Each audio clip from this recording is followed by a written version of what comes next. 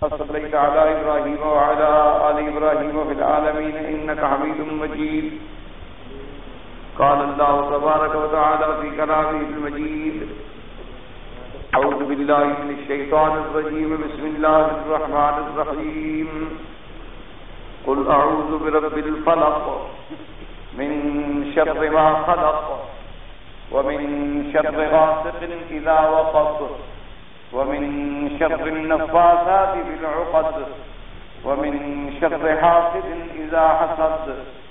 قال المؤلف والمفسر رحمه الله تعالى أدام النفع بعلومه وعلومكم في الدارين، آمين، إلى أن قال. وقال البخاري رحمه الله تعالى في كتاب السب من صحيحه حدثنا عبد الله بن محمد. قال سمعت سفيان بن عيينة يقول أول من حدثنا به ابن جريج. يقول حدثني عال أروة عن أروة فسألت هشام عنه فحدثنا عن نبيه عن عائشة رضي الله تعالى عنها قالت كان رسول الله صلى الله عليه وسلم سحرا حتى كان يرى أنه يأتي النساء ولا يأتيهن.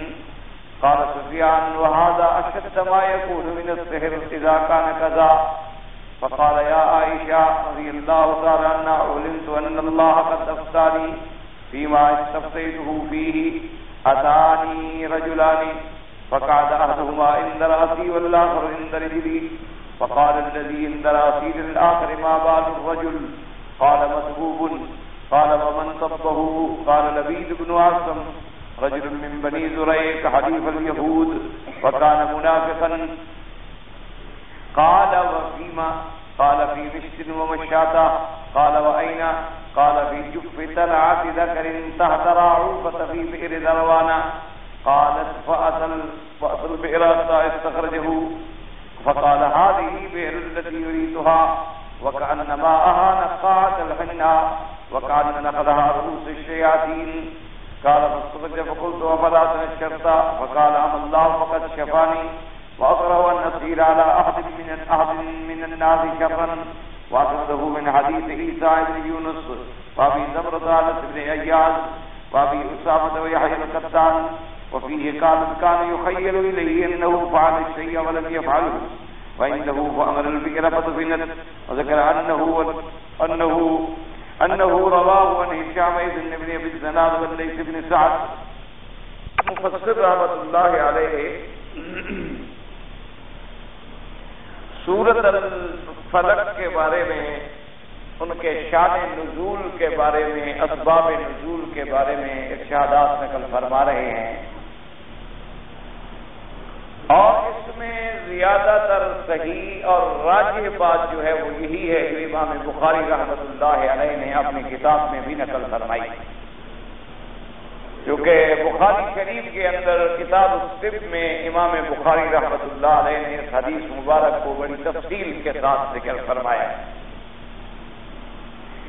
اس حدیث مبارک میں یہ آتا ہے کہ میں نے ہشام سے پوچھا اور وہ فرماتے ہیں، انہوں نے اپنے باپ سے اور انہوں نے بی بی عائشہ صدیقہ رضی اللہ تعالی عنہ سے روایت کی کہ حضور صلی اللہ علیہ وسلم پہ جادو کیا گیا اور اس جادو کا یہ اثر تھا حدا کا یرا النساء ولا یعنی اس جادو کا اثر یہ تھا، ایک تو کہ آپ یہ گمان کرتے تھے کہ شاید میں نے اپنی بیوی سے ملاقات کی ہے۔ یہاں اتیان سے مراد ہوتا ہے یعنی میاں بیوی کا ملنا یعنی جمع کرنا۔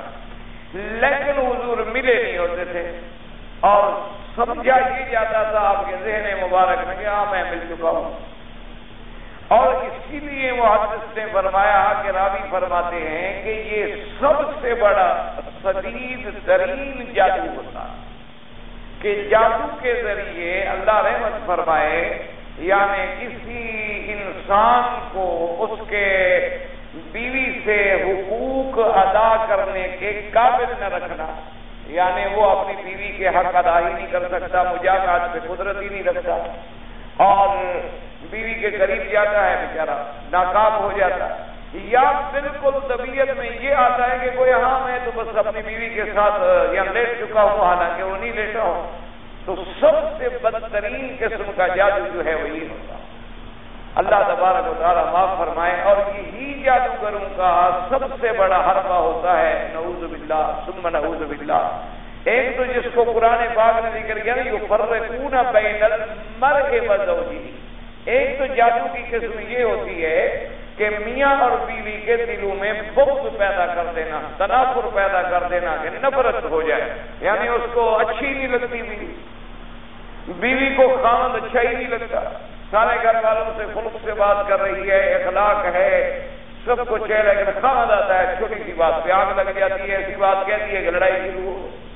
اور خامد ماشاء اللہ بڑا اچھے خلق والا ہے اور ساری دنیا سے ملتا ہے اور ساری دنیا سے اخلاق ہے اور تمام رشتے داروں سے خوش ہے، لیکن گھر جاتے بیوی کو دیکھتے آگ لگ جاتی ایک تو یہ جادو کی قسم ہوتی ہے، اللہ تبارک و تعالیٰ معاف کر اور ایک جادو کی قسم ہوتی ہے کہ اللہ باغ معاف فرمائے مرد پر یا عورت پر کسی دونوں پر وہ کرتے ہیں، دونوں پر ہو جاتا ہے اثر۔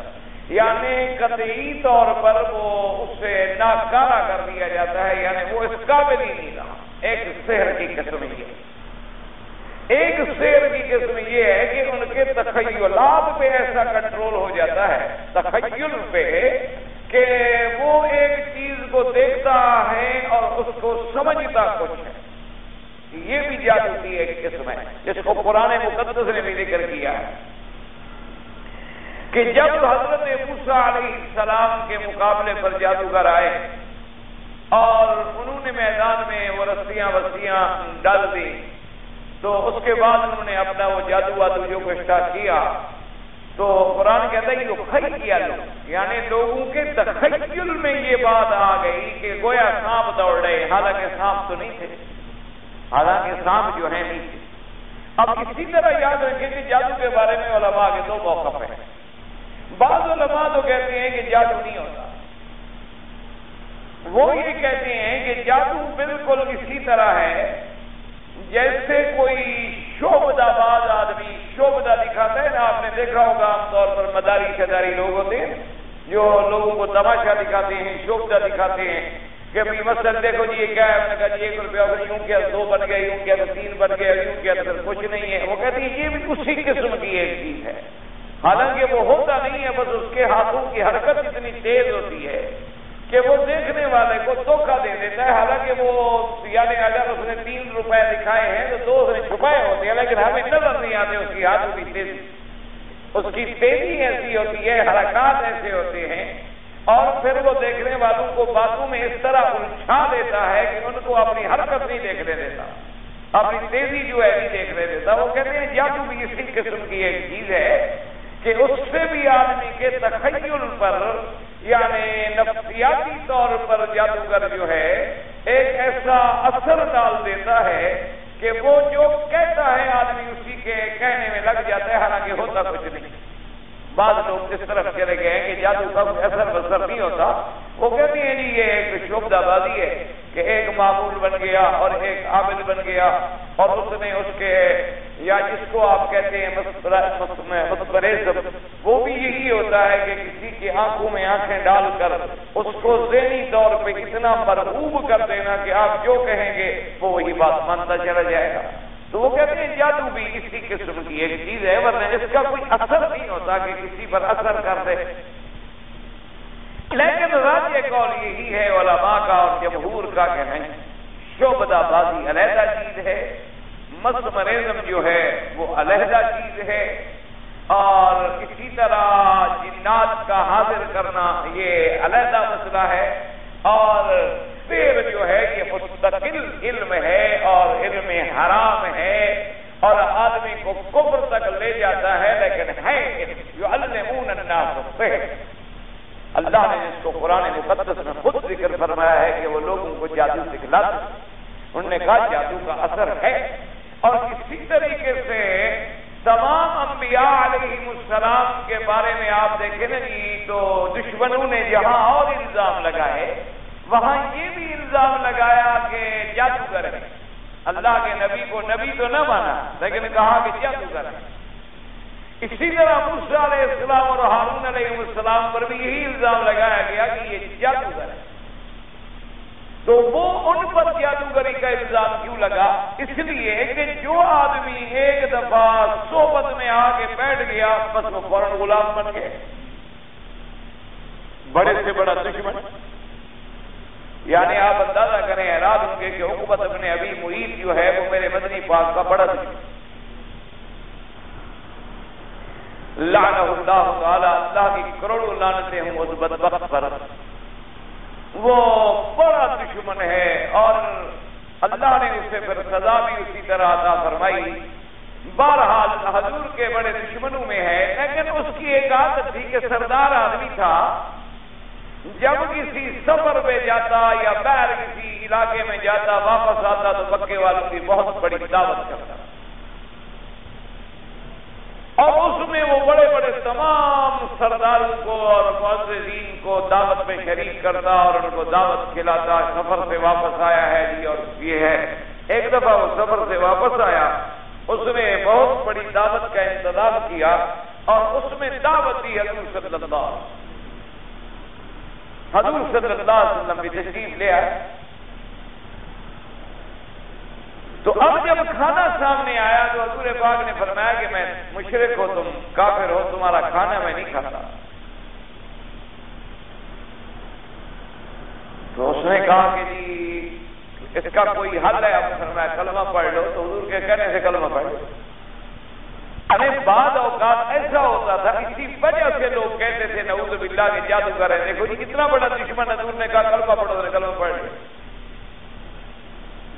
وہ کہتے ہیں یہ جادو تو ہے کہ ایک سیکنڈ میں آدمی بدل گیا کہ ایک کافر ہے، ساری زندگی وہ کفر پہ رہا ہے، شرک پہ رہا ہے اور اس نے اللہ تبارک و تعالیٰ معاف فرمائے۔ کفر پہ زندگی گزاری ہے، حضور کی خدمت میں آتا ہے، سامنے بیٹھتا ہے آپ اس سے دو باتیں کرتا ہے اور فوراً کلمہ پڑھ اس لیے وہ کہتے تھے کہ باللہ یہ بھی جادو ہے کہ فوراً آدمی کو اپنے کنٹرول میں لے لیتے ہیں اور اس کو بدل دیتے ہیں۔ اس لیے انبیاء علیہ السلام جو ہے نعوذ باللہ جادوگر تو اس لیے بہرحال جمہور کی رائے یہ ہے، یاد رکھیں کہ جادو ہے۔ جادو باقاعدہ ایک علم ہے۔ جیسے علم جبر ایک علم ہے، علم نجوم ایک علم ہے، علم الحاضرات ایک علم ہے مسمریزم ایک علم ہے شبدہ بازی ایک علم ہے۔ ہاتھ ریکھا کا دیکھنا ایک علم ہے یہ سب علوم ہے لیکن علوم باطلہ کیا؟ یہ علوم باطلہ ہے اور ان کے پڑھنے والا اور ان پہ یقین رکھنے والا کم کیوں؟ اگر ایک منٹ کے لیے ہم نے مان لیا کہ بھائی اللہ نے ہمارے ہاتھوں پر جو لکیریں ڈالی ہیں، ان میں کوئی اللہ نے اثرار ہیں، ایسے بیکار تو نہیں ہو سکتی، ہمارا ایمان ہے۔ اور ہر آدمی کی ہاتھ کی لکیریں دوسرے سے بھی نہیں ملتی، باپ کی بیٹے سے نہیں ملتی، بیٹے کی باپ سے نہیں ملتی، پھر ان میں تغیر بھی ہوتا ہے، ان میں تبدل بھی ہوتا ہے، ان میں تبدیلی بھی ہوتی ہے، کبھی وہ لائن سیدھی جاتی ہے، کبھی وہ کٹ جاتی ہے، کبھی اس میں کراس ہوتا ہے، کبھی ابھار ہوتا ہے، کبھی مغریف کا ابھار ہوتا ہے، کبھی اطارت کا ابھار ہوتا ہے، یہ ہے۔ لیکن اگر اللہ نے اس کو راز رکھا ہے تو اللہ کے رازوں میں پڑھنے کی تمہیں کس نے اجازت اگر اللہ نے باقی کے کوئی اثرات ہیں تو جن چیزوں کو اللہ پاک نے بھی راز رکھا ہو تو پھر بندے کو کیا حق حاصل ہے کہ اس میں مداخلت کرے؟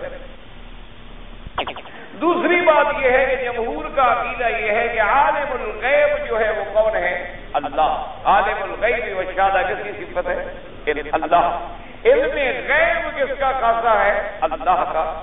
تو اب جو آدمی ان علوم کے ذریعے یعنی گویا وہ بھی غیب دا بننے کی کوشش کر رہا، اپنے آپ کو غیب میں ڈال رہا کہ جی میں آپ کو گزری ہوئی بات بتا رہا ہوں اور آنے والے مستقبل کے بارے میں بتا رہا ہوں کہ تمہارا ستارہ جو ہے اب گردش میں جا رہا ہے اور یوں ہوگا اور یوں ہوگا اور یوں ہوگا۔ تو نعوذ باللہ وہ علم جو اللہ نے اپنے لیے خاص رکھا تھا، اس مخلوق کے کیا حق ہے کہ اس کے اندر دخل دے؟ جبکہ اللہ کے انبیاء نے بھی دخل نہیں دیا، کوئی پیدا آ گئی انہوں نے کہا نہیں جانتے لازم کوئی مسئلہ پوچھا گیا، انہوں نے کہا لا عالم کوئی بات پوچھی گئی، حضور نے فرمایا انتظار کرو، ابھی واہی نہیں اتری اور مجھے پتہ نہیں۔ تو جب انبیاء اللہ کے نبی، اللہ کے پیغمبر، اللہ کے رسول، تمام مخلوقات میں سے اعلیٰ عباد اللہ اللہ کے سب سے برگزیدہ بندے۔ اللہ تبارک و تعالیٰ کے چنے ہوئے لوگ جن کو اللہ نے اپنی نبوت اور رسالت کے لیے خود چن لیا ہو، ان کے شان کا کون مقابلہ کر سکتا ہے؟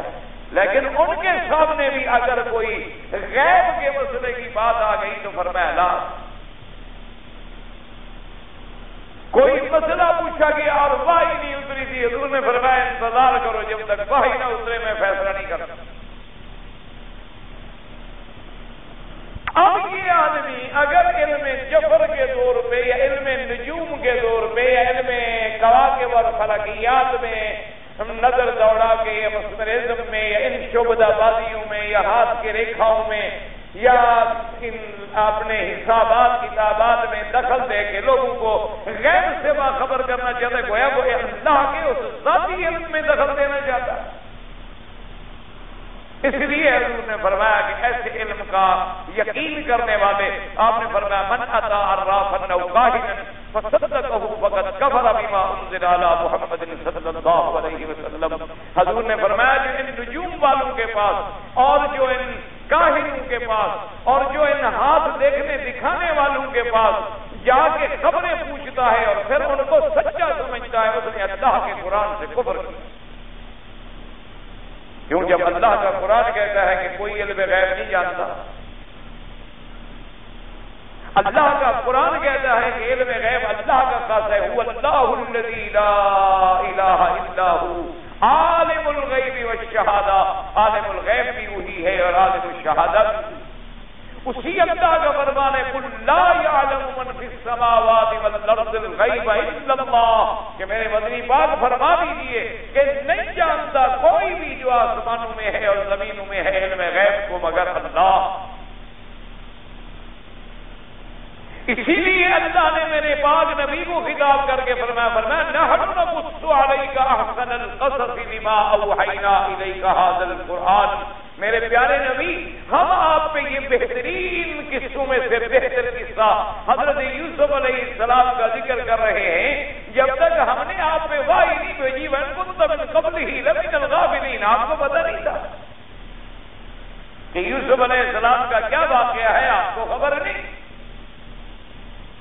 اسی لیے اللہ نے فرمایا، ذالک من الغیب الی اے میرے پیغمبر، یہ غیب کی بات خبریں جو ہم آپ کی طرف بھیجتے ہیں، واہی کر کے آپ کو بتلاتے ہیں، ہم بتلا رہے ہیں۔ آپ آپ تو اس وقت موجود ہی نہیں تھے۔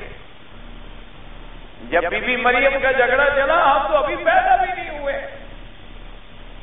آپ تو دنیا میں بھی تشریف نہیں لے آئے۔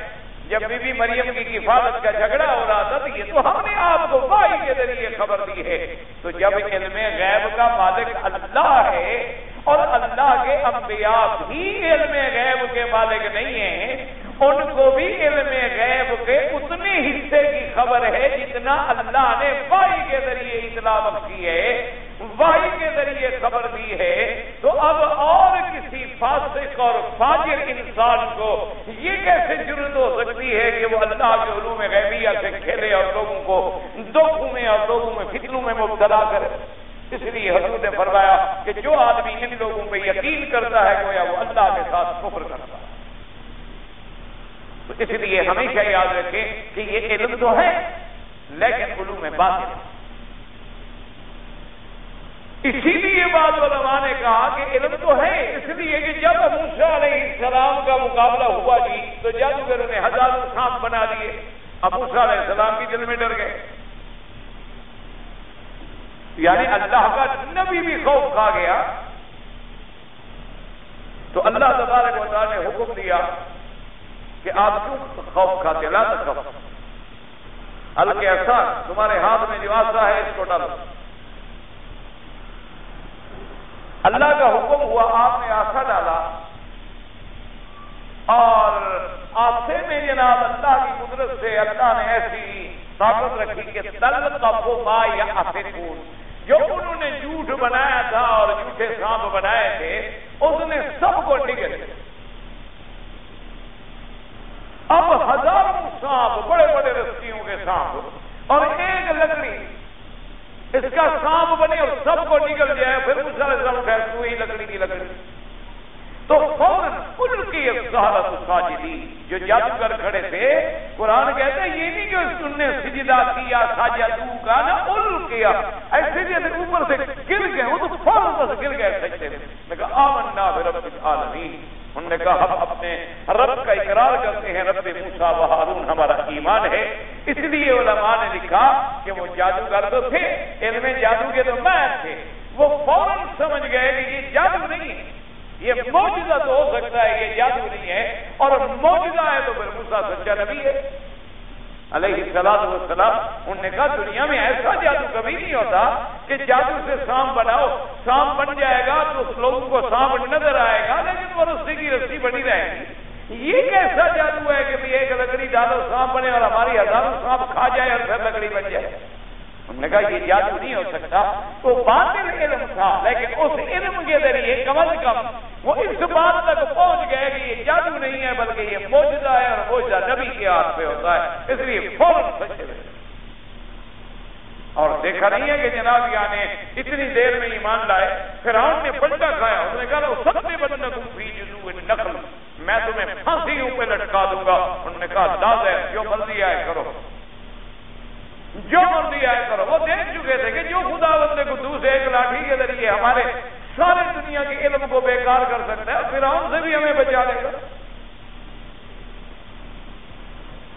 انہوں نے کہا ہمیں ڈرنے کی کون سی ضرورت ہے کہ ہم اس سے ڈرتے پھریں اب ہمارا تو اس رب پر ایمان ہو گیا ہے، جس نے اپنے پیغمبر کے ذریعے ایک لکڑی ڈلوا کے ہماری ساری محنت کا ستیہ ناش کر دیا ہے، تو وہ خدا بندے قدوس قادر ہے پھر ان کو بھی ختم کر دے اللہ تبارک و تعالیٰ کی ذات قادر ہے کہ وہ فرعون کی قوت اور طاقت کو بھی ہمیشہ کے لیے امریہ میٹ کر دے اور نشانی عبرت بنا ڈالے۔ وہ قادر ہے۔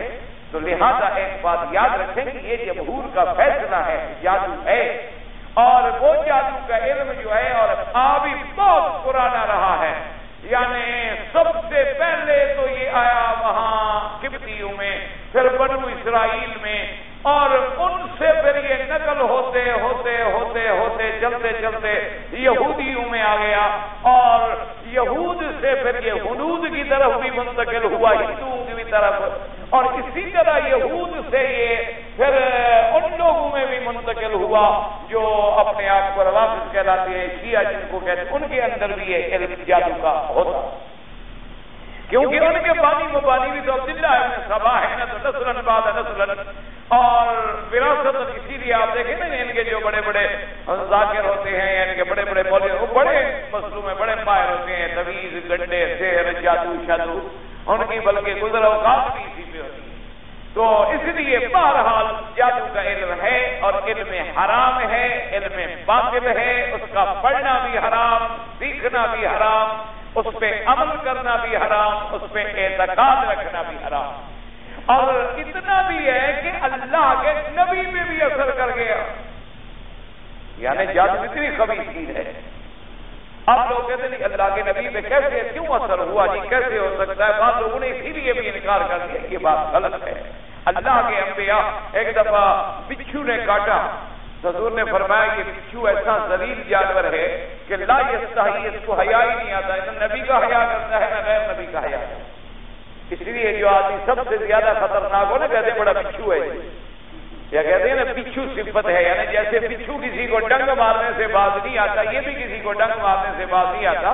حضور نے فرمایا ایسا موزی جانور ہے بدبخت کہ اللہ کے نبی کا بھی حیا نہیں کرتا، تو سانپ کا اثر بھی ہوگا۔ بچھو کا اثر بھی ہوگا، کیونکہ انبیاء بشر ہوتے ہیں، انبیاء اولاد آدم ہوتے ہیں، انبیاء کو اللہ نے بشریت کا صحیح معنوں میں بشر پیدا فرمایا ہے۔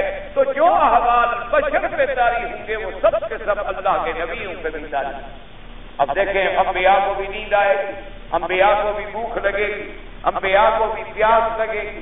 انبیاء کی شادی فرمائیں گے، انبیاء علیہ السلام کو ضروریات بھی ہوں گی۔ انبیاء علیہ السلام میں صحب اور نفیات بھی ہوگا، اسی لیے قرآن نے کہا نس یا آدم آدم بھول گیا۔ ہم نے جو وعدہ لیا تھا کہ اس درخت کے قریب نہ جانا، لیکن آدم بھول گیا۔ فلم نے جی لہو آدما۔ اور حضور نے فرمایا، جب آدم بھول گیا تو اولاد بھی پھر بھولے گی تو ضرور۔ جب ابا بھول گیا، ابے میں نسیان آ گیا تو وہ بیٹوں میں بھی تو آئے۔ نسی آدم فنسی ضروریت اسی طرح میرے آقا نماز میں بھول گئے۔ اسی طرح حضور صلی اللہ علیہ وسلم کے اس سے بڑے لفظ کیا ہو سکتے ہیں؟ فرمایا آپ نے صحابہ کو، انما انا بشر، میں ایک بشر ہوں، انسا کما تم سونا، میں بھی بھول جاتا ہوں جیسے تم بھول جاتے ہو۔ فیضا نسی و بزک کے رونی اگر میں کوئی بات بھول جایا کروں تو مجھے یاد دلا دیا تو حضور صلی اللہ علیہ وسلم پر جیسے نسیان کاری ہو سکتا ہے، اسی طرح جیسے بخار کا اثر ہوتا تھا حضور صلی اللہ علیہ وسلم دشمنوں کے مقابلے میں تشریف لے گئے۔ کئی دن فاقے سے ہیں۔ آپ نے بھی پیٹ مبارک میں پتھر باندھے ہوئے۔ حضور صلی اللہ علیہ وسلم کے فاقے کا یہ عالم ہے۔ ایک صحابی نے جا کے شکایت کی۔ انہوں نے کہا، حضور اب تو اب بھوک سے اتنے تنگ آ گئے ہیں کہ دیکھیں ہم نے پتھر باندھا ہوا ہے۔ حضور نے بھی اپنا قمیص اٹھا لیا۔ فرمایا، میں نے بھی تو پتھر باندھا۔ اگر تم نے پتھر باندھا ہوا ہے تو میں نے بھی پتھر باندھا۔ تو جس طرح یعنی بھوک کی تکلیف ہوتی ہے، اسی طرح حضور صلی اللہ علیہ وسلم ایک دفعہ حضور سڑک سے گزر رہے تھے تو ایک کھجور کا صرف دانا پڑا تھا، ایک کھجور کا دانا آپ نے فرمایا کہ لولا خشی تو انہا من صدقہ دلا کل تو فرمایا، مجھے اتنی بھوک لگی ہوئی ہے، لیکن میں ڈرتا ہوں، پتہ نہیں یہ صدقہ اور زکات کا مال نہ ہو، اگر یہ ڈر نہ ہوتا تو میں اٹھا کے کھا لوں یعنی حضور صلی اللہ علیہ وآلہ اسی طرح بھی, بی عائشہ صدیقہ رضی اللہ تعالیٰ عنہ فرماتی ہے کہ ما شبیہ حضور اور حضور کے گھرانے والے کھجور سے بھی پیٹ نہیں بھر کے کھایا کبھی جب تک کہ خیبر فتح نہ ہوا یعنی اتنی کھجوریں بھی نہیں آئی۔ اور اسی طرح حضرت صلی اللہ علیہ وآلہ آلہ وسلم تسلیما کثیرا کثیرا۔ آپ کی جب شادی ہوئی ام حبیبہ سے اور بی بی صاحبہ تشریف لے آئی مدینہ منورہ میں، تو حضور پاک نے فرمایا کہ میں چاہتا ہوں کہ ساتھیوں کو دعوت ولیمہ کھلاؤں لیکن میرے پاس تو کچھ نہیں ہے، میں کیا کھلاؤں؟ حضور صلی اللہ علیہ وسلم اسی انتظار میں بیٹھے تھے کہ ایک آدمی کچھ کھجورے لے آیا اور ایک پٹی کا پٹکا لایا جس میں کچھ گھی تھا یا اس قسم کی کوئی چیز تھی یعنی زید تھا یا گھی تھا۔ اس نے آگے حضور کو ہدیہ پیش کیا۔ حضور نے فرمایا، دسترخوان بچھاؤ۔ تو حضور کا چمڑے کا دسترخوان بچھا دیا گیا۔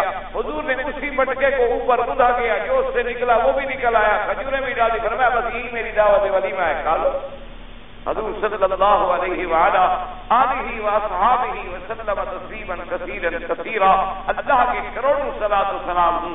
تو اس لیے یاد رکھا کریں کہ آپ سید البشر ہیں، آپ افضل البشر ہیں، آپ خیر البشر ہیں، آپ سید ولد آدم ہیں۔ لیکن عبداللہ کے بیٹے ہیں آمنہ آپ کی والدہ ہے عبد المطلب آپ کے دادا ہیں، ابی سفیان آپ کے ججا ہے بی بی خدیجہ اور ازواج مستحرات آپ کی بیویاں ہیں، تمام لوازم بشریت جو ہر بشر میں ہوتے ہیں، اللہ وہ اپنے نبیوں میں بھی رکھتا ہے۔ تو جیسے ان میں جادو کا اثر ہو جاتا ہے، اسی طرح اللہ کے پیغمبروں پر بھی جادو کا اثر ہو جاتا ہے۔ لیکن ایک مسئلہ ہمیشہ یاد رکھیں کہ جادو کا اثر اگر نبی پہ ہوگا تو ذاتی معاملات اور جسم پہ ہوگا۔ لیکن اس جادو کا اثر اللہ کے باہی تین پر قدر نہیں ہوگا۔ یعنی کوئی جادو کر کے ایسا کرے کہ حضرت کو نماز سے روک دے یعنی جادو کر کے کوئی ایسا کرے کہ نعوذ باللہ اللہ کے قرآن کی آیت بدل جائے، یہ کبھی اللہ اس کی حفاظت اللہ فرماتے ہیں۔ کیونکہ فرماتی ایسا تو نہیں ہوگا ہم آپ کو قرآن ایسا پڑھا دیں گے، فلا تنسا، محمد مدنی میرے قرآن نہیں بھولیں گے۔ جو ہم اپنا حکم دیں گے، وہ نہیں بھولیں گے۔ ہاں یہ علیحدہ بات ہے کہ مانن سخ من آیت کہ ہم کسی آیت کو خود منسوخ کر دیں یا ہم کوئی آیت آپ کو خود بھلانا چاہے تو آپ کو بھلا دیں گے۔ جیسے لہلت القدر کے بارے میں اللہ نے اپنے نبی کو علم عطا فرما دیا کہ لہلت القدر فلا رات تھی۔ جب حضور صحابہ کو بتانے آئے تو اللہ نے علم اٹھا لیا اس کو بات یاد ہی نہ رہی۔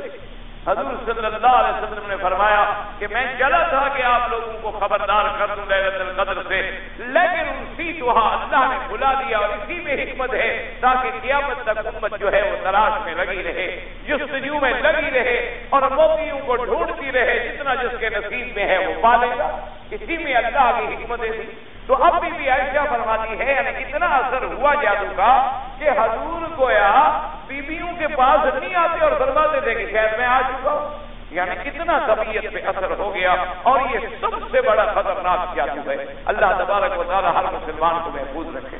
اور بہرحال یاد رکھیں، اس قسم کا اگر کسی پہ جادو ہو نا جی تو میرا تو یقین ہے اور اللہ آپ کو بھی یقین نصیب فرما دے میں تو بڑا حیران ہوتا ہوں کہ لوگ کسی پیر کا نام سنتے ہیں، اس سے تو جاتے ہیں طویل لینے کے لیے جادو کے توڑنے کا۔ اور بعض ہمارے یہاں ہوتے ہیں، وہ بھوپے کہلاتے ہیں مطلب کیا کیا کہلاتے ہیں، جو جن نکالتے ہیں۔ پتنی بھوپا بھوپا کہا جاتا ہے اس کو۔ میرے خیال میں اس کے بجائے اگر پے کے بجائے تے لگا دیتے، بھوت کہتے زیادہ بہتر تھا۔ کیونکہ جنوں کو جو بھگائے گا، وہ خود بھی بھوت ہوگا نا جی تبھی جن اس سے بھاگیں گے۔ تو بہرحال ان کے پاس جاتے ہیں اور وہ انتر جنتر منتر بتا دیتے ہیں، ایسے کافرانہ، مشرکانہ، اس کو کرتے ہیں، اس پر عمل کرتے ہیں۔ بھائی جس جادو کو اللہ نے خود توڑ بتلایا ہو، اس پہ عمل کیوں نہیں کرتے ہو؟ یعنی جادو ہوا اور ہوا کس میں؟ رحمت العالمین۔ اور اس کا علاج کس نے بتلایا؟ رب العالمین نے۔ اور بتلانے والا کون تھا؟ جبریل امین اور پھر اصل جو ہے، صحابہ نے کہا بارے سامنے ہو گیا۔ حضور پڑھتے گئے گرا کھولتے گئے، جادو ختم ہو گیا۔ تو جب اللہ نے ایک چیز ہمیں اتنی بڑی نعمت عطا فرما دی ہے قرآن میں، تو ہم اس کو چھوڑ کر بلا وجہ لوگوں کے فراز فریب میں آئے لوگوں کے دھوکے میں آئے اور وہ لوگ یا قلون اموال الناس بالباطل، جو لوگوں کا جھوٹے طریقے سے مال اٹھاتے ہیں۔ خدا کے لیے ان چیزوں سے بچے اور ان صورتوں کو اپنا اور نہ پچھونا بنا ڈالے۔ اگر ایسا کسی پر جادو ہے تو یہی صورتیں ہیں نا کل اعوذ برب الفلق اور کل اعوذ برب الناس۔ اگر اللہ اور توفیق دے دے، تو کل یا ایھا الکافرون سے لے کر کل اعوذ برب الناس۔ اسی طرح سورۃ الفاتحہ، اسی طرح آیت الکرسی، اسی طرح رب اعوذ بک من حمزات الشیاطین۔ باؤد میں گرب ایوہ کی جو آیت مبارک ہے۔ اور اسی طرح جو قرآن میں آیتیں آئی ہیں سحر کے بارے میں، فلما القوا قال موسى ما جئتم به السحر ان الله سيبطله ان الله لا يصلح عمل المفسدين ويحق الله الحق ويبطل الباطل ولو كره المجرمون۔ اور اسی طریقے سے سورت آل عمران کی آخری آیتیں، ان کو صبح شام لگاتار کسی پیر کے پاس جانے کی ضرورت نہیں، تم خود پیر بن جاؤ۔ مکے میں پہنچے وہ تم سے بھی بڑا پیر ہے کوئی۔ اور جن پیروں نے مسجد نہیں دیکھی، تم نے تو خدا کا کعبہ دیکھ لیا، تم بڑے پیر ہو گئے، وہ بڑے پیر ہیں۔ جن کو خدا نے کبھی مسجد میں بھی نہیں آنے دیا، اور تم کو اللہ نے اپنے گھر میں بلا لیا ہے۔ اور تم کو اللہ نے مدینے پاک کی ریا نصیب کر دیا تو تم بڑے پیر ہو ہمارے لیے۔ باقی داڑھی شاڑی ہے، وہ بھی انشاءاللہ آ جائے گی۔ نیت کر لو مکے میں اللہ پاک رحمت کرے۔ نیت کر لو، ورنہ میں لگا تو نہیں رہا تمہیں۔ داڑھی ڈرو نہیں۔ میرے پاس بھی داڑھی ہیں، میں لگا دوں گا۔ ڈرو نہ، خطرہ نہ کرو۔ خیر ہے، کچھ نہیں ہوگا انشاءاللہ۔ بیگم سے راضی رہے گی۔ اللہ کا نبی ناراض ہوتا ہے تو کوئی بات نہیں اصل تو مسئلہ بیگم کا ہے۔ اصل تو مسئلہ ہے لوگ نہیں دیکھیں گے، کہیں گے، داڑھی رکھ کے آ گیا، یہ دیکھو کیسا گندی شکل بنا ہے، نبی کی شکل گندی۔ یہ مسلمان ہے جو یہ سمجھتا ہے کہ داڑھی سے شکل میری گندی ہوتی ہے۔ نہ کیا خیال ہے آپ کا؟ جو داڑھی، جو شکل داڑھی کیوں اچھی ہے رکھتا کیوں؟ اگر داڑھی رکھنے سے اس کو شکل اچھی لگتی ہے، تو اچھی کیوں نہیں بناتا وہ شکل؟ تو یقینی بات ہے نا، وہ سمجھتا ہے کہ داڑھی رکھوں گا تو میری شکل گندی لگے گی۔ میں بگڑ جاؤں گا، میں بندے سے بھوت بن جاؤں گا۔ تو جن بھی داڑیاں تھیں، ان کے بارے میں کیا عقیدہ بنا؟ سوچ لیں بہرحال اگر قیامت میں حضور نے فرما دیا کہ حوض کوثر لینے آئے ہو، پہلے منہ کر ہاتھ تو پھیرو۔ سوچ لیں فیصلہ خود کر لیں، مولویوں کا کیا ہے؟ مولویوں کو جیب میں داڑھی تھوڑی آپ کو لگا دیں گے، ڈرے نہیں آپ۔ میرے پاس وہ جھوٹھی داڑھی بھی نہیں ہے تو میں سچی کہاں سے لے ہوں وہ بیگ والی بھی نہیں ہے کہ میں آپ کو دے دوں ادھاری ارے یعنی نسرانیوں کو بھی شرم ہے، ان کا پادری اگر آئے گا تو فرضی داڑھی تو لگا لیتا ہے۔ عیسائیوں کو بھی شرم ہے کہ عبادت میں آئیں گے تو فردی داڑھی لگا دیتی ہے ایک مسلمان ہے جس کو نہ کعبے کا شرم ہے، نہ روزہ ہے محمد مصطفیٰ کا شرم۔ عمرہ کرنے جیسے کلیم شیخ آیا تھا، اسی طرح واپس جائے۔ انا للہ و انا الیہ راجعون۔ یقین فرمائے ایسے عمروں کا کوئی فائدہ نہیں۔ کھیلے کا فائدہ نہیں ہے جب بندے میں تبدیلی نہ آئے، کوئی تماشا دیکھنے آتے ہیں مکے مدینے میں۔ اگر ہماری صرف صورت بھی نہیں بدلی، شکل بھی نہیں بدلی، اور ہم نے اپنی شکل وہ نہیں بنائی جو شکل تھی محمد الرسول اللہ کی، صلی اللہ علیہ وسلم، ایک لاکھ چوبیس ہزار پیغمبر۔ کی اور لاکھوں صحابہ، لاکھوں تابعین، لاکھوں اللہ کے اولیاء، عباد اللہ صالحین اگر ہم صرف اتنی یعنی حضور کی محبت میں چار بالوں کا ہم بوجھ نہیں برداشت کر سکتے، تو اور کون سی محبت ہے ہمیں حضور سے؟ اس لیے بہرحال یہ ہمارے دن میں تو بات پہنچانا ہوتا ہے، آگے آپ جانے، آپ کا کام جانے۔ تو بات صورت یہ ہے کہ اسی طرح ہمیں یقین ہے کہ جو چیز اللہ نے بدلائی ہے اور حضور نے فرمائی ہے، اسی پہ ایمان رکھو۔ یہ قرآن کی ساری آیتیں یا زیادہ یاد نہیں بھی ہوتا نا یہی آخری دو صورتیں یاد کر صبح پڑھو، رات کو پڑھو، پانی پہ پڑھو، سوتے ہوئے پڑھو، بستر پہ پڑھو، لیٹتے ہوئے پڑھو وضو ہو پڑھو وضو نہیں ہے، یاد ہے، بس پڑھتے رہو۔ گھر والوں پہ، بچوں پہ، کھانے پہ، ہر چیز پہ۔ لگ جاؤ انشاءاللہ، اللہ کی رحمت سے پندرہ بیس دن نہیں گزرے گے سب جادو وادو بھاگ جائیں۔ کہیں بھی نہیں جائیں گے سب جادو شادو اڑ جائیں گے، خدا کی رحمت سے۔ جب اللہ کا قرآن ہے، لیکن شرط یہ ہے کہ یقین ہو۔ یہ نہ ہو کہ اسکرو کی گولی یہ ساتھ میں ہو اور زمزم ساتھ میں۔ نہ گولی پر یقین، نہ زمزم پر یقین۔ دوائیں کرنی ہے دوا کرو تو چھوڑو، زمزم کیا ہے؟ اگر زمزم پہ یقین ہے تو چھوڑو دوا کو پھر ایمان رکھو۔ کہ حضور نے فرما دیا ہے کہ زمزم ہر بیماری کی شفا ہے۔ پھر اس یقین کے ساتھ پیو۔ پھر دیکھو کہ امام یعنی جن نے تفصیل قرطبی لکھی ہے، وہ فرماتی ہیں کہ میں اللہ کے حرم میں حج کرنے کے لیے آیا ہوا تھا۔ تو صبح کی نماز کے کھڑے ہونے میں چند لمحات باقی تھے۔ وہ فرماتے ہیں کہ مجھے پیشاب کی اتنی شدید تکلیف ہوئی، پیشاب زور کیا مجھے کہ برداشت کرنا مشکل ہو گیا اور اتنے بڑے محدث، مفسر اور عالم تھے۔ تو انہوں نے کہا کہ مجھے پتا ہے نے منع فرمایا کہ پیشاب روک کر نماز نہ پڑھو۔ اگر پیشاب لگ جائے، زور ہو جائے تو جاؤ، پیشاب کرو، وضو کرو اور بعد میں آ کر جماعت کرو۔ جو بھی لے الحمد للہ جو نہ بھی لے الحمد للہ تو کہتے ہیں کہ میں نے اس حدیث مبارک کے مطابق عمل کرنے کے لیے، میں نے کہا بھی اب جاؤں، لیکن دل میں بڑی حسرت ہو کہ ہائے آج حرم کی نماز چل جائے پیشاب کرنے جاؤں گا۔ اس زمانے میں کہاں پانی کا انتظام تھا؟ کہاں ہم بنے ہوئے تھے کہ جلدی جلدی دوڑے جاتے اور وضو کر کے آ جاتے؟ آپ کو باہر جانا پڑتا۔ فرماتی ہے یہ حسرت تھی کہ ہائے میں اتنی سفر کر کے آیا، حج پہ آیا اور صبح کی نماز ہے اور اللہ کے حرم کی نماز ہے اور مجھے جماعت نصیب نہیں کبھی مان میرے دل میں خیال آ گیا، زمزم کا، تو میں نے فوراً زمزم پہ چلا گیا، کنویں پہ۔ میں نے ڈول بھرا۔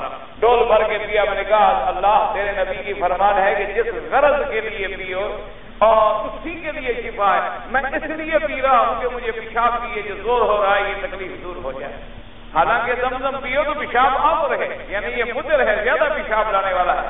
لیکن آپ فرماتے ہیں، میں نے وہ ڈول کا ڈول اور پی لیا اوپر۔ فرماتے ہیں، صبح کی نماز پڑھی، اشراق پڑھا، طواف کیے، آرام سے کر گیا، پھر جا کے فارغ ہوا، خیال ہی نہیں آیا۔ یقین تھا، بات تو ہے نا، یقین ہو ہمیں تو اثر بھی ہو۔ میرے اپنے دوست کا میں نے کئی دفعہ کیا، اس کے بچے کو کینسر تھا، جو دنیا میں لا علاج ہے۔ یعنی ابھی تک کینسر کا کوئی علاج نہیں آیا۔ اتنا علاج آئے ہیں کہ ابتدائی اسٹیج ہو تو اس کو کچھ روک لیتے ہیں۔ یا یعنی یہ ہے کہ کچھ مدت جو زندگی اللہ رکھے گا وہ ذرا درد کے بغیر گزر جاتی ہے، ورنہ یعنی وہ ٹھیک نہیں ہوتا۔ وہ کہتی ہے میں باہر یورپ گیا، ادھر ادھر گیا۔ انہوں نے کہا کہ بھائی بچے کو لے جاؤ۔ اب یہ اس سٹیج پہ پہنچ چکا ہے کہ کسی وقت بھی یہ مر جائے گا۔ اور اچھا ہے کہ گھر جا کے بیچارہ مرے، اس کے ماں باپ بھی پریشان ہوں گے۔ کہتے میں وہاں سے آیا اور جتنے کا رہنے والا تھا، وہ کہتے ہیں کہ میں نے ان کو گھر والوں کو اطلاع دی کہ بھی میں آ رہا میں جتنے سے اترا، اسی سے نیت کر دی۔ وہیں سے احرام بھی باندھ لیا، سیدھا حرم میں آیا، عمرہ کیا، احرام باندھا ہوا تھا، فارغ ہوا۔ اور میں نے کہا، اللہ میاں، تیرے پاک نبی کا فرمان ہے کہ ماں کو زمزم لما شوری بنا آپ نے فرمایا کہ زمزم جس غرض کے لیے پیو حل ہوتی ہے اور زمزم جو ہے شفا اس میں بیماریوں کے لیے شفا ہے، تو بس میں نے کہتے ہیں جی صبح روزانہ کنویں پہ جانا، بچے کو زمزم پلانا، اس کے اوپر زمزم ڈالنا، اس کو زمزم سے نہلانا اور خود بھی زمزم پینا اور چپ کر کے ہوٹل پہ چلے جانا، جا کے رہ جانا۔ نمازیں پڑھنا پھر ہر نماز پہ کنویں پہ لے جاتا، ہر نماز پہ لے جاتا، ہر نماز پہ پانی پلاتا، ہر نماز پہ ڈالتا رہا۔ گھر والے پریشان، پیچھے ٹیلی فون نہیں آ رہا، میں مکے میں بیٹھے ہوں، جتنے نہیں بتاتا نہیں بس اب خدا کے دروازے میں بیٹھ گیا ہوں، میں نہیں ہلتا۔ جو بھی ہو، کہتے ہیں میں پورا ایک مہینہ یقین کامل کے ساتھ حضور کی اس حدیث مبارک پہ عمل کرتا رہا۔ آٹھ دنوں کے بعد بچے کی طبیعت سنبھلنی شروع ہوئی۔ پندرہ دنوں کے بعد طبیعت بحال ہونی شروع ہوئی اور مہینے میں بچہ سر تازہ ہو گیا۔ کہتے اسی وقت پھر میں نے جیتے تھے پھر بگڑ نہیں پایا۔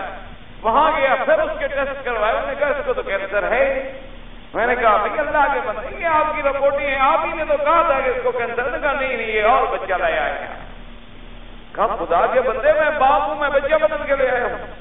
اکل کی بات نہیں، اس بچے کو تو کینسر کا بھی ہوا ہی نے کہا بھائی، یہ اس کی رپورٹ ہے کہا اگر اس کی ہے تو باہر آ اس کو کینسر نہیں۔ آپ یہ بتلائیں گے علاج کیا کیا میں نے کہا علاج میں نے وہ کیا ہے جس نبی کو تم نہیں مانتے، میں نے اسی کے کہنے پہ عمل تم تو مانتے ہی نہیں ہو، حضرت محمد مصطفیٰ کو۔ تمہیں کیا علاج بتاؤں؟ میں نے ان کے حکم پہ عمل کیا ہے۔ تمہاری تمہاری باتوں کو چھوڑا ہے۔ اللہ نے مجھے شفا سے ہم اس لیے اصل بات ہوتی ہے، یقین کامل تو جن یہ آج یہ بیماری عام ہے اس لیے میں نے عرض کیا ہے، یہ آج کل بڑی بیماری ہیں۔ اللہ معاف کرے۔ بڑے گھر برباد ہو چکے ہیں جادو سے۔ بڑے بڑے بڑے مسلمانوں کو لوگوں نے، بڑے ثابت ہوتے ہیں وہ لوگ جو جادو کر رہے ہیں۔ اللہ تبارک و تعالیٰ ان کو دنیا اور آخرت میں رسوا کرتے ہیں۔ یاد رکھو، وہ کبھی عزت والا نہیں ہو جادوگر ہمیشہ شدت کی موت مرے گا، آپ دیکھیں۔ کہ جو لوگ جادو کرتے ہیں نا، اللہ ان کی دنیا اور آخرت میں ان کو ذلت دے ان کے چہرے پہ رونق نہیں ہوگی، ان کے چہرے ایسے مست ہوں گے۔ شکل دیکھیں گے تو آپ کو شکل سے بھی ڈر ہے۔ اور ان کے طبیعت کے اندر وہ نظارت اور رونق جو ہے وہ اللہ چھین دیتی ہے۔ اور ہر وقت وہ گندے اور پلیت رہتے ہیں اور گندگیوں میں الجھے رہتے ہیں۔ اور اللہ تبارک و تعالیٰ پھر آخرت میں بھی ان کو عذاب دیں گے جو مسلمانوں کو جادو کر کے نعوذ باللہ خراب کرے تو بہرحال ان دو صورتوں کو یاد کر لو۔ انشاءاللہ انشاءاللہ صبح انشاءاللہ اگر آپ نے عمل کیا تو سب جادو شادو ختم ہو جائے۔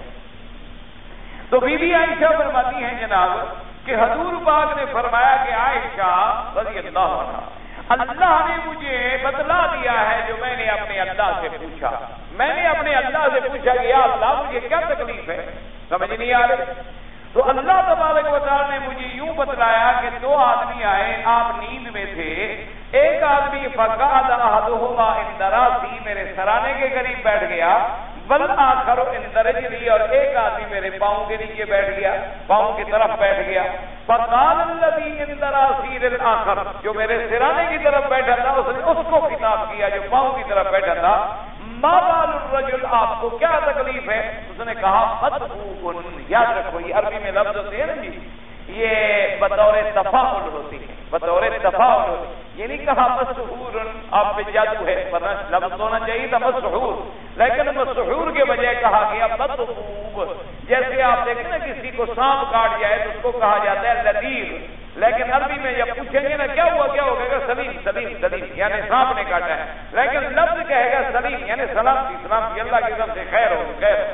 تو اسی لیے انہوں نے بھی بجائے اس کے کہ کہتے مسحور ورنہ کافر تو کہتے تھے نا مسحور ان تتبعون الا رجلا مسحورا۔ قرآن میں کافر کہتے تھے، عجیب لوگ اس کے پیچھے پڑے ہوئے، جس میں خود جادو ہو گیا تو لیکن نے کہا مدبوب مدبوب ڈبا طبیب سے ہے یعنی اور نہیں ایسا ہے جس کا علاج ہو گیا۔ ٹھیک ہے۔ مانا یہ ہے کہ سحر کہ آپ پر جادو ہے۔ تو اس نے پوچھا کہ اچھا بھی جادو جو ہے کس نے جادو کیا؟ قال لبید ابن العاصم۔ لبید ابن عاصم ایک آدمی تھا، رجل من بنی زرع بنی زرع کی قبیلہ ہے۔ حدیث پر یہودی، یہودیوں کا حدیث تھا یعنی یہودیوں سے معاہدہ تھا۔ اور یہ آدمی جو ہے، کانا منافق آدمی منافق تھا۔ یعنی کسی سے اندازہ کرو، منافق یہودیوں سے بھی بدتر ہوتا۔ اللہ تبارک و تعالیٰ بچائے نفاق سے یعنی اتنا بڑا منافق ہے، وہ مسئلہ قصہ مشہور نہیں ہے کہ ایک آدمی منافق تھا اور ایک یہودی تھا، ان کا جھگڑا ہو گیا کسی جائیداد سے اب جو یہودی ہو، وہ کہے کہ فیصلے کے لیے چلو حضور کی خدمت میں۔ اور جو بد بخت منافق ہو ظاہر کل میں پڑھ رہا ہے، نمازیں پڑھ رہا ہے، حرم میں آ رہا ہے، حضور کے پیچھے بیٹھ کے نمازیں پڑھ رہا ہے۔ وہ کہنا، نہیں نہیں، حضور کے پاس ہی جاتے ہیں، تمہارا جو سردار ہے نا کاب ابن اشرف یہودی اس کے پاس کریں وہ یہودی کہے تم عجیب آدمی ہو، میں کہتا ہوں تمہارے نبی کے پاس چلتے ہیں فیصلہ کرانے کے لیے۔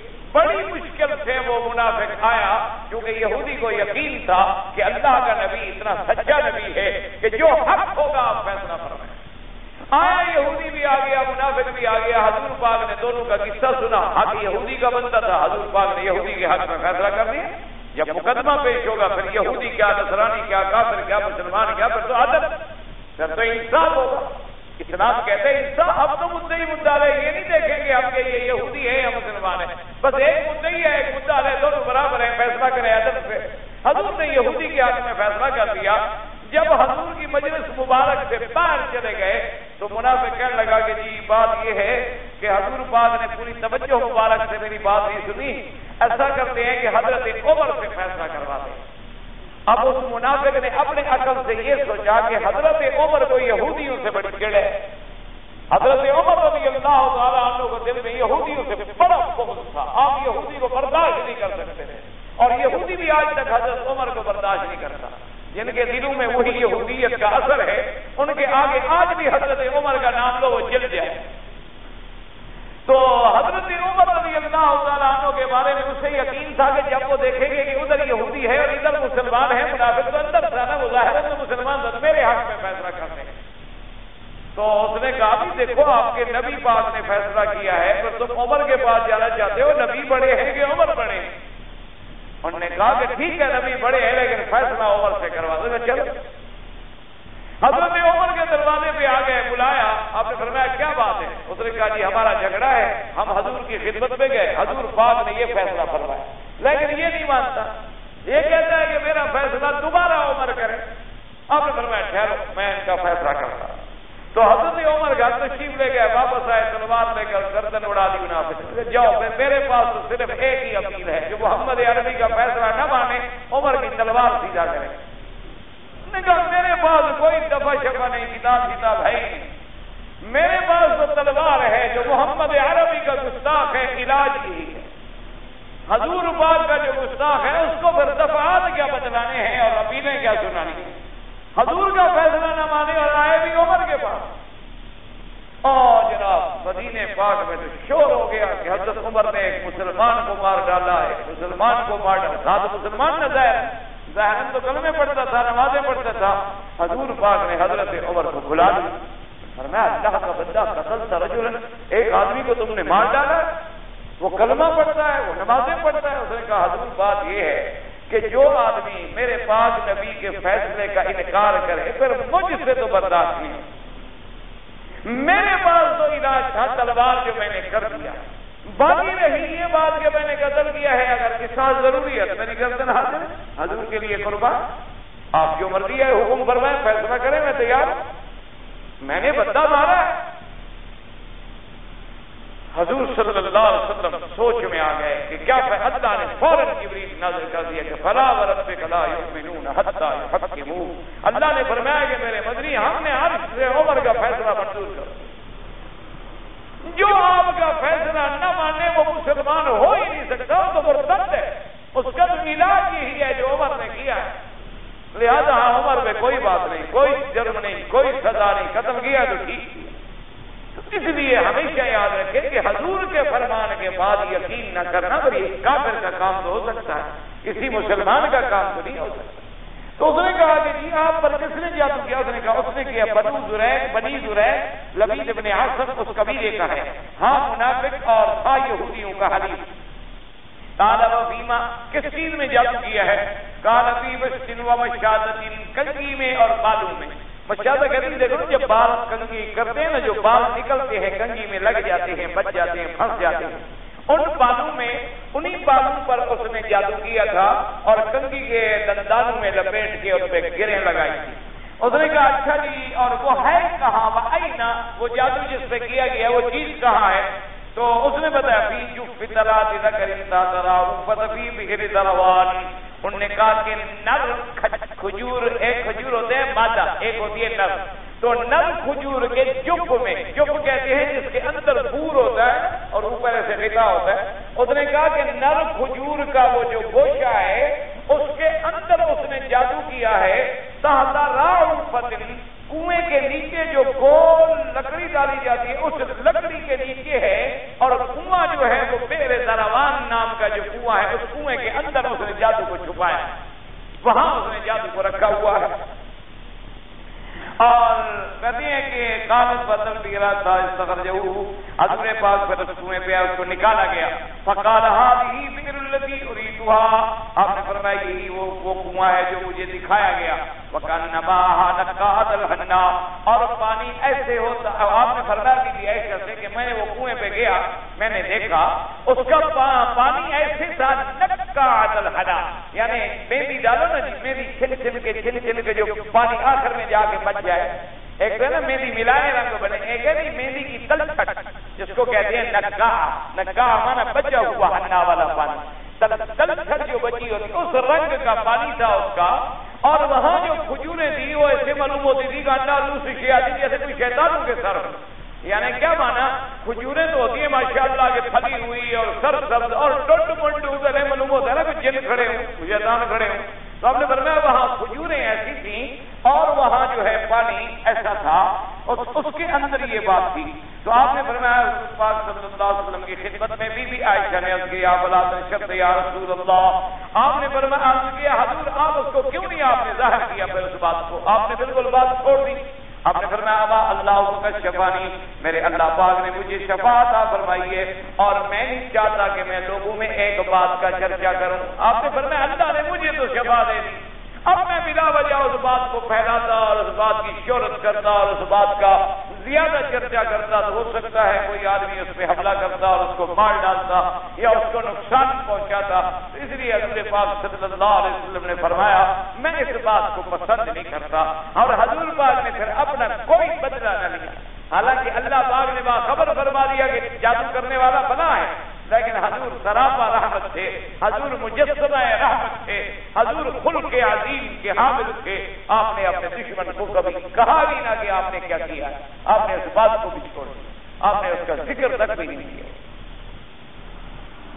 اور اس کے بعد من حدیث عیسیٰ بن یونس انہوں نے بھی اسی کو نقل کیا۔ بابی زبر زبان سے سبن ایاد بابی اسامہ ویحی القتال وفی قالت کانا یحتا کانا یخیل الیہ انہو فعل الشیء ولم یفعلہو اور اس کے اندر یہ بات بھی ہے دوسری روایت میں۔ کہ بی بی عائشہ صدیقہ فرماتی ہیں کہ اس جادو کا اثر آپ پر یہ ہو گیا تھا کہ گویا آپ نے اس کام کو کر لیا ہے، حالانکہ نہیں کیا ہوتا۔ یعنی حضور نے کھانا مبارک نہیں کھایا۔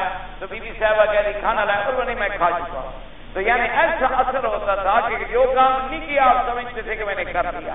یعنی یہ بھی جادو کا آپ پر ایک اثر ہو گیا تھا۔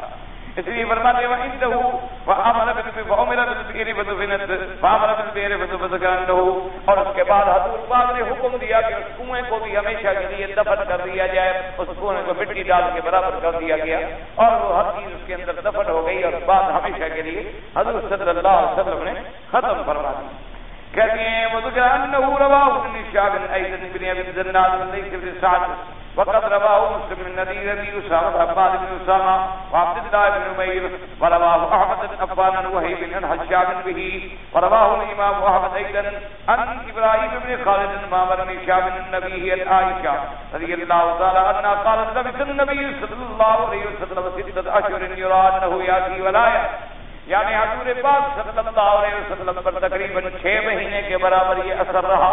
ایک روایت میں آتا ہے، چھ مہینے۔ ایک روایت میں آتا ہے کہ ایک دن، ایک روایت میں آتا ہے کہ کچھ عرصہ، لیکن ظاہری روایات مبارک یہی ہے کہ تقریباً حضرت صلی اللہ علیہ وسلم پر چھ مہینے تک یہ اثر جو ہے وہ رہا۔ اور وہی اثر مبارک پاتا ہو ملکانے میں جلس احد ما اندراسی واللہ قرین درج لئی وقال احد ما للآخر ما بالو قال مذبوب قال من ذبو قال لبید بن الآثم فذكر دواب الحديث، اس کے بعد انہوں نے پوری حدیث نقل فرمائی۔ وقال الاستاذ المفسر الثانوي في تفسيره قال ابن عباس وعائشة رضي الله عنهما كان غلام من اليهود يقدم رسول الله صلى الله عليه وسلم، یہودی ایک غلام تھا ان کے گھر میں چھوٹا بچہ آخر کام کرتا تھا، آتا تھا۔ وتبت الیہ الیہود یہودی نے اسی کو راضی کیا۔ فلم یزالوا به يتاهم مشاط رسول رات النبی صلی اللہ علیہ وسلم عدد من اسران مثله انہوں نے راضی کیا کہ حضور کے کچھ بال مبارک اور حضور کی کنگھی کے دندانے مبارک بھی ہیں، کسی طرح ہمیں دے دو۔ تو وہ لے گیا۔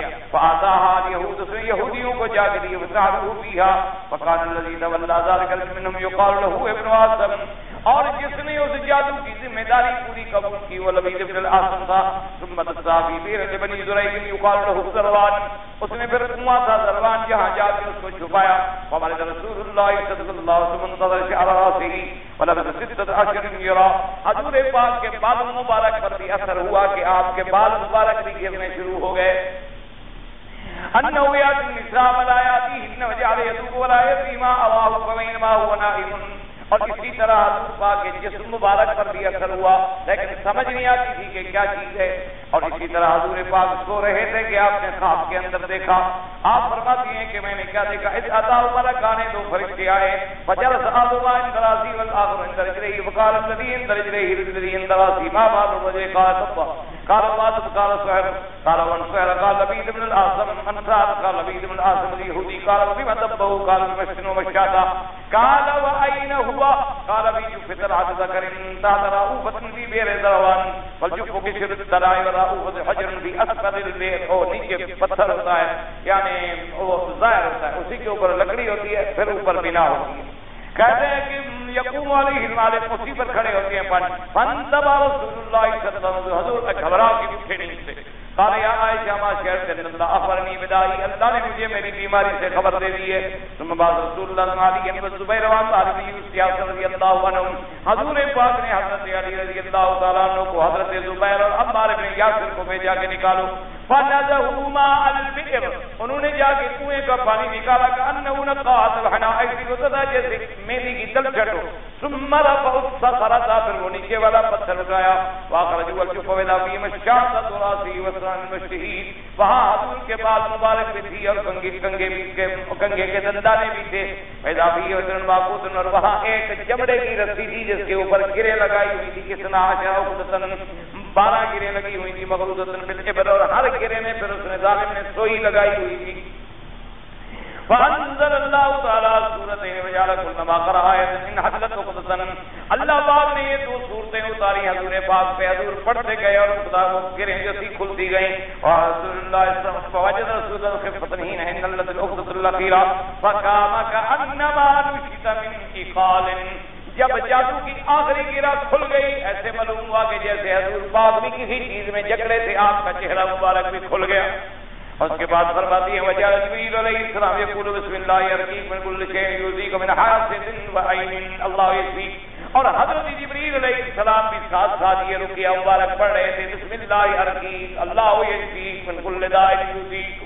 اور جس حدیث میں ہے کہ بسم اللہ یرقیق من کل شیء یوزیک من حاسد و عین اللہ یشفیک کہ اللہ تبارک و تعالی ہر ایزا دینے والی چیز سے آپ کو محفوظ فرمائیں اللہ پاک ہر حسد زبان حسد سے آپ کو بچائیں، ہر بد نظر سے آپ کو بچائیں. فقالوا یا رسول اللہ صلی اللہ افلا ناخذ الخبيث نقتله صحابہ نے عرض کیا کہ حضور آپ ہمیں اجازت دیں۔ کہ ہم اس بدبخت انسان کو، اس خبیص کو جس نے یہ جادو کیا، اس کو قتل کر ڈالیں۔ فقال رسول اللہ صلی اللہ علیہ وسلم، انا فقط شفاعی اللہ اکرم یسیر الناس شرن آپ نے فرمایا کہ نہیں، میں، مجھے میرے اللہ نے شفا عطا فرما دی ہے۔ میں نہیں چاہتا کہ بلا وجہ لوگوں میں ایک شر کا مسئلہ کھڑا کروں۔ هذا أورده بلا إشراف في إغراف في بعض نقاط شديدا ولبعض الشواهد من بعض قدم الله أعلم. اب بس رحمت اللہ علیہ فرماتے ہیں اس کے اندر غرابت بھی پائی جاتی ہے، لیکن شواہد موجود ہیں اور حدیثوں میں آدمی شادی کرے تو بیوی کو پہلی رات حق باہر کیا دینا چاہیے؟ جس حق باہر پہ نکاح ہوا ہے، وہی دینا چاہیے، پہلی رات جاؤ گا، حق باہر ہوتا ہے۔ اللہ کے بندے جب نکاح ہوتا ہے تو حق المہر اسی وقت طے ہو جاتا ہے۔ کہ مثلا دس ہزار ریال حق المہر پانچ ہزار، دو ہزار، ایک ہزار، دس لاکھ، جو بھی طے ہو۔ جو طے ہو گیا، اب اس پر کیا فیصلہ ہوا؟ کہ جو فوراً دینا ہے، وہ تو نکاح کرنے کے فوراً بعد شادی سے بھی پہلے پہنچ جاؤ۔ اور جو معجل بعد میں دینا ہے، تو وہ جب کا وعدہ ہو، اس کے مطابق ادا کرو۔ یہ نہیں ہوتا کہ پہلی رات ہو ہاں بعض علماء نے یہ لکھا ہے کہ جو حق المہر ہم نے آج فوراً دینے کا فیصلہ کیا ہے، اس کے ادا کرنے سے پہلے بیوی سے نہ ملے پہلے ادا کریں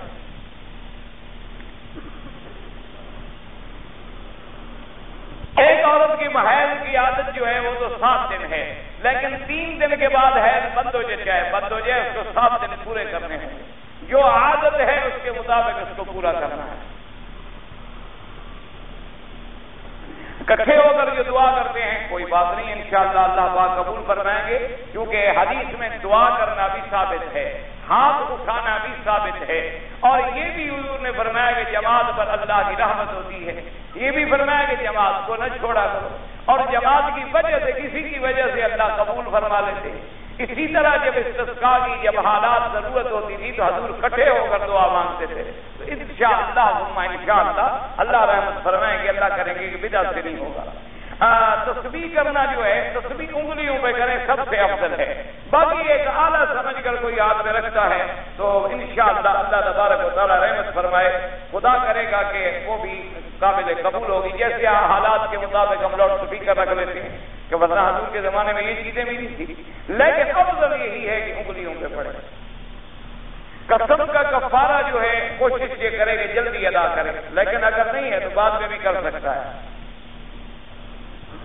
ایک آدمی سفید پوش ہے، آمدنی ناکافی ہے، کوئی ان کو اگر کچھ بھی سبیر اللہ دے ہاں ٹھیک ہے، اگر آمدنی اس کی پوری نہیں ہے، اس کو کسی نے کچھ دیا ہے لے لے۔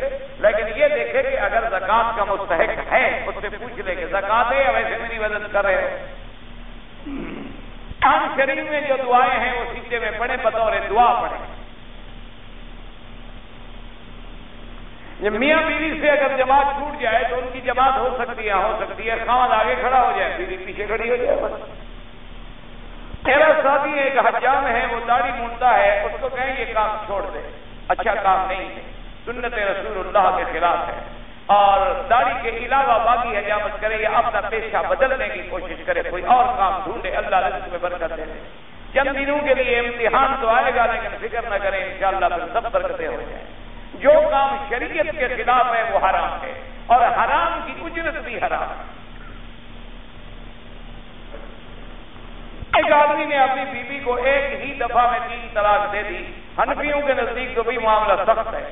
امام کو حنیف رحمۃ اللہ علیہ کے نزدیک تو تین طلاقیں ہو گئی لیکن اہل حدیث علماء فرماتے ہیں کہ اگر ایک مجلس ہے تو ایک طلاق ہوگی، چاہے تین دفعہ کہا، چاہے کتنے دفعہ کہا۔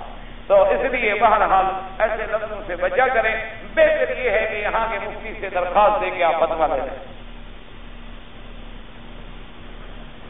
چار شہر دو سخی ہیں چار شہر جنتی ہیں، مجھے تو نہیں ملے آج دعا کرو میں تو کہتا ہوں اللہ کرے، ساری دنیا جنت میں شہر جنت میں جائیں گے، شہروں کو کیا پیدا ہوگا؟ لوگ جنت میں جائیں گے، شہر تھوڑے جنت میں جائیں گے۔ بغیر عمرے کے جو لوگ ایسے شکل بنا کے حرام باندھ کے روزی کماتی ہے، حرام دھوکھا ہے۔ ساتھ ایک آدمی رہتا ہے، میں نے اس کو نماز کے لیے کہا تو اس نے کہا کہ مجھے نماز کے لیے نہ کہا کرو۔ اور بولنا چھوڑ دیا، دین کے لیے آپ بولنا چھوڑ دیں، اچھی بات۔ ایسے آدمی سے بولنا بھی نہیں چاہیے۔ اور ایسے آدمی اگر نماز نہیں پڑھتا تو اس کا علاج ہے۔ ساتھ آپ چوکی پہ جا کے اس کا خبر کر دیں، انشاءاللہ ان کو نماز پڑھانا آتا ہے۔